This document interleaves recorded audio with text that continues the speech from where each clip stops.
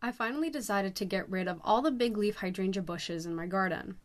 I fell in love with hydrangea macrophylla a long time ago, and for many years I tried to bring this beautiful plant into its full blooming stage with little or no effect.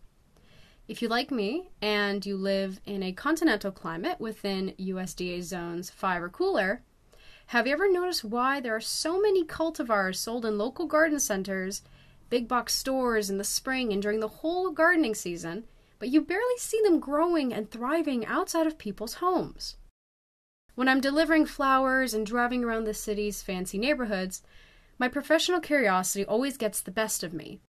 Why can I only see smooth or panicle types of hydrangea growing and blooming around these homes? I always wonder why do landscape businesses prefer to plant for their customers only panicle or smooth hardy hydrangeas instead of the oh so popular, beautiful varieties of big leaf hydrangea macrophylla sold in garden centers and big box stores. All over the greater Toronto area, I can only see panicle and smooth hydrangea blooming in front of fancy corporate buildings, condos, city parks, and houses. The question is where are all of these pots of big leaf hydrangea that are sold every year go? The grower's label states that big leaf hydrangea should be hardy for climate zone 4 and up. So, why do I not see any of these flowering hardy perennials in areas where they're sold in such great numbers? Maybe I'm not the only loser who can't take care of this plant. So, is it just not blooming? It seems like everybody has the same problem. So, I started searching and I found a number of reasons why big leaf hydrangeas don't bloom in our climate zones. And one of the reasons could be due to a lot of unnecessary pruning being done to the bush.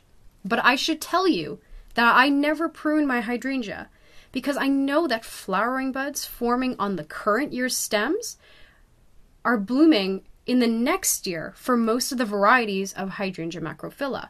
So previous year branches with formed flowering buds from last year are really important for successful current year blooming. And that is why I cut off only dead branches in the early spring. Another reason is that it also said that hardy for zone 4 or 5 hydrangeas need a winter cover in zones 4 or 5. That is not clear to me at all. I wonder why growers and sellers fail to make a warning label on the plant stating that it will not bloom unless you provide additional good winter protection. And then I started trying almost everything for my hydrangea winter cover from straw, peat moss, chicken wire cage filled with fallen leaves, burlap. I even took a plastic garbage can, turned it upside down, and I covered the hydrangea and I kept it on for the duration of the whole winter until April. I even tried an old rug as a winter cover. Although all of these methods are time consuming and visually unattractive landscape options, but I was so desperate trying to make that big leaf hydrangea bloom. I became really happy if I could manage to save just one flowering bud, and I grew a few small, loose, weak, pale pink flower heads. I was trying to reassure myself, well, it's okay. My hydrangea is just a young bush and it needs more time to mature. But year after year after year, and after most winters in our zone 5, the hardy hydrangea bush successfully survived our harsh Canadian winter and started growing beautiful, healthy foliage. Then, for the purposes of minimizing risk of loss of significant numbers of flower buds or just possible death, I put them back in the ground and I planted them in sheltered areas. I tried full sun, partial shade, everything, and nothing was working. Then I found and bought Endless Summer variety, that one that should produce flowers on current year stems. And I thought to myself, yes, finally, I found one. The one I was looking for the whole time, my dream variety. Now I know what I was doing wrong. But unfortunately, I realize it's just another seller's trick for someone like me to buy and plant another useless hydrangea in my garden. It was nothing but a big disappointment. This endless summer variety, it gave me bloom only once. And when it was purchased from the greenhouse, and after that, I never managed to see a full, lush flower blooming stage again. Then I realized that Hydrangea macrophylla is not hardy zone 5 at all. In spite of all my efforts, the flowering buds always freeze out during the winter. Or maybe these flowering buds didn't develop during the previous year at all. Both of these statements are a possibility. But let's use some logic here.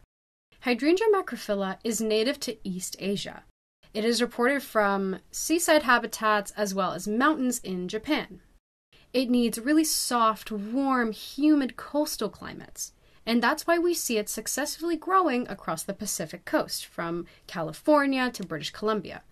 Then I came to the realization that, regardless of protective measures taken, big leaf hydrangea simply will not bloom or will bloom poorly because of a variety of winter occurrences beyond the control of our gardeners, like low temperatures, sudden wide temperature or humidity fluctuations, icy conditions, or late spring frosts. When you try to grow plants native to temperate climates in continental climate regions, like Hydrangea macrophylla, it will survive, but it will fail to bloom. Imagine trying to grow tropical rainforest plants in the desert. It just does not work. So here I am crying out loud. I take my shovel and I pull out all my big leaf hydrangea varieties and out to the garbage. No more hard work, no more worries. I will plant beautiful Annabelle, Limelight, Pinky Winky, or Silver Dollar instead. No more space in my garden will be wasted for luxury foliage of big leaf hydrangea varieties. I will never be tempted with amazing colors and flowers of hydrangea macrophylla when I see them in big box stores or garden centers. I may buy them for holiday occasions, but only as a short lived houseplant.